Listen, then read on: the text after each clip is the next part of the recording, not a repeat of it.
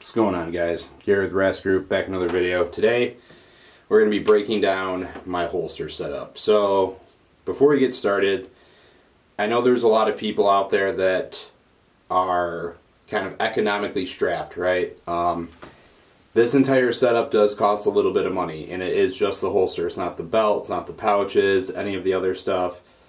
So as we go through this, keep that in mind and understand that this was built over a period of time. It wasn't done all in one shot. And I did this, you know, it was a lot of time, experience, progression. A lot of things went into this for this setup to be what it is now because I don't want to, you know, sticker shock anybody that, you know, likes this and wants to mimic it, but on average, depending on what prices you find, it is going to be between 460 to $500. So um, if you want to know individual prices, check out the blog post, but that is kind of what we're looking at. So to start, we're going to look at my holster hanger and the things that kind of go with that. So this is a True North Concepts MHA or modular holster hanger. I opted for this because it is an all metal construction made out of aluminum. And as you can see from the back, you get a lot of mounting options, right? There's a lot of mounting holes, a lot of height adjustment you can do. And overall, I like the idea of having, having a metal holster hanger. I didn't want to risk, um, you know, my holster hanger snapping or breaking, which anything made out of plastic, if you're in a combative situation, is prone to do so, which I have consideration here for that. You'll see, you know, when we go through this, there are a couple things that, uh, you know, if I was really end of the world SHTF preparing for, I probably wouldn't have on here. So, True North MHA, want to say it's about 85-ish dollars um, on their website. So next I have a thigh strap. This is a old G-code elastic thigh strap, just with the uh, plastic buckle so as you can see, it's very simplistic. It's literally just a giant piece of elastic webbing. And there we go. Um, again, this is one of those items where if it was my end of the world scenario, it'd be something different. I would probably opt for a Cobra buckle closure or some sort of metallic buckle. Um, I also, I'm not really in love with this thigh strap. I feel like thigh straps are, offer a lot of kind of potential capability, and then I don't think, or at least I haven't seen, anybody really utilize the capability of a thigh strap. Um, for instance, I'm not sure why there aren't like Chemlite cells here, or here, or somewhere, or a way to attach those, just for the sheer fact of um, utilizing some dead space that's coming off of your belt and holster area. So, that's my two cents on that. Next, we have the QLS receiver plate. I do obviously have the QLS fork on the other on my holster to have the you know complete pair there. Um, this is another thing where kind of for a serious like whether it be a duty style SHTF um, pardon me guys whatever kind of like serious use holster setup I probably would not opt for the QLS system I think it's great as an instructor and somebody that tries out different firearms all the time I think this 100% is probably one of the most convenient items you can use as far as holster attachments going through different guns, stuff like that. However, it is a plastic part, or a polymer composite part, I should say. There is some give to it.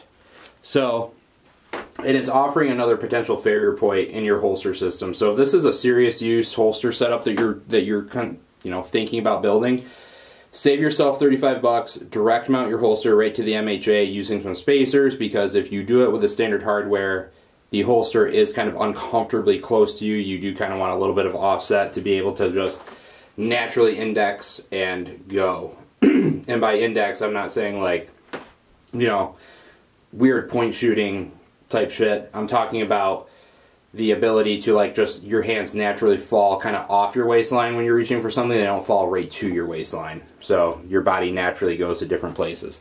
So that is what is on the belt. you can get the MHA and the QLS at Brownells, I believe, and you would be close to that $150 threshold to use um, BOP10 at checkout. So Make sure you guys check out Brownells for your firearms needs. There's my shameless plug for this video. And now we're going to get into it. This is my, my holsters. This is Safariland 6354 DO. Um, I did modify it, and I'll show you exactly how I did that. But first, let's start with the obvious. Gray Fighter Gear SRC3 to hold my cat tourniquet. Um, I actually just ordered the SRC4 with the hip pouch to replace this because it uh, that one I believe is kind of more conducive to use running on a holster. This one, the SRC3, works great for its intended original role as a sling retainer catch for a carbine mounted on the buttstock or the, the rail. I'd encourage you to use the buttstock. So, as far as modifications, I did, as you can see, flare out the bottom of this with a heat gun. It doesn't look pretty. I don't care. So I removed the barrel plug, I removed the light cap little thing that was in there. I used a heat gun and I flared it out, and that is so I can fit a Compt 17 or a 34, or even a Compt 34 if I really wanted to. Probably will never do that, but so I could run it in the same holster that I do with my Glock 45, my Glock 19s, my Glock 17s. Um, it's pretty much a universal Glock holster at this point in time. Um, obviously, I could clean up this stuff a little bit on the bottom, but it doesn't really bother me. But essentially, to do that, you just got to remove all the lower innards. Take a heat gun and then just slowly but surely, like, put whatever you're trying to fit in there down through there and then just slowly work the polymer until it kind of molds into place right? It's really not that hard. Um, I think it took maybe 20, 30 minutes. And then the other thing I did was you can see I modified the inside of this a little bit to kind of fit an enclosed emitter. It still won't take an SRO. Um, at least I don't think so. Let me check actually. Improv video moment here.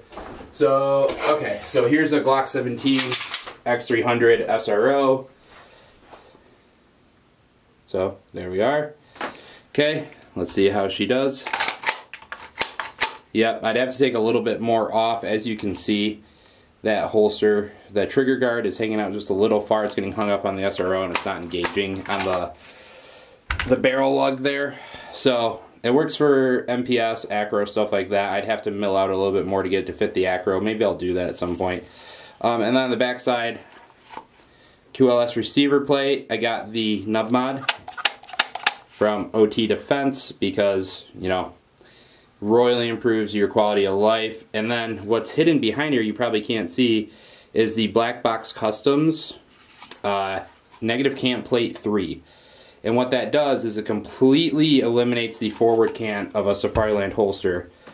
Um, gives you a neutral cant, and then even, if you put it all the way to the full setting like I do, gives you a negative cant. So if I were to mount that up onto the belt, one second. So you can see in relation to the 90 degree angle of the holster adapter how far back that sits. Um, I, I like that. I'm a fan of that. I choose to run it that way.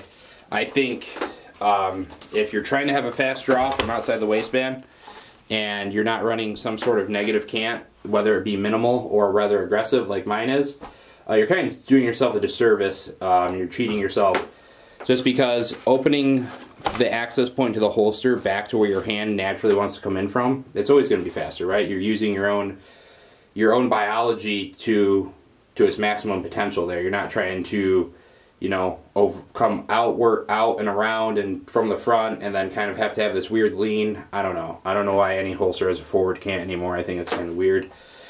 But to each their own, right? So this is my holster setup. Like I said, depending on prices, um, you're going to average 480 bucks to replicate this. Um, I'll probably be adding some more stuff to it in the future. There's some products that have come out that I'm interested to try. Um, and if I don't hate them, I'll probably just keep running them. But do what works for you guys. Like, don't feel pressure to go out there and drop 500 bucks on your outside the waistband holster setup for training. Unless it makes sense to you and you got it like that, by all means, drop the money, have a quality setup. Holsters are super important. Um, we talk about the importance of red dots division. We talk about the importance of stippling, talon grips, grip tape to our grip. However, not a lot of people are talking about the importance of a, the precision in a holster setup for our draw, right? And that is one of our most important fundamentals. I teach it as the third most important fundamental. No, I don't say it is trigger manipulation because in theory if your grip is squared away to the level it should be, there's no reason why a single a single finger pressing a trigger should over manipulate an entire hand or set of hands. So, it's just physics and that's kind of what I've seen, that's what I subscribe to. You can argue with me in the comments below. I appreciate you boosting the algorithm. But guys, this is kind of a long video, but I wanted to make sure I showed you kind of everything I was doing with my holster setup. If you love it, great. If you hate it, great. Comment it down below either way because I'm always looking for feedback and I'm always looking for some sort of interaction to boost the YouTube channel. So, guys, I appreciate you stopping by. Stay safe, stay trained, stay rad. I'll be back with the next one.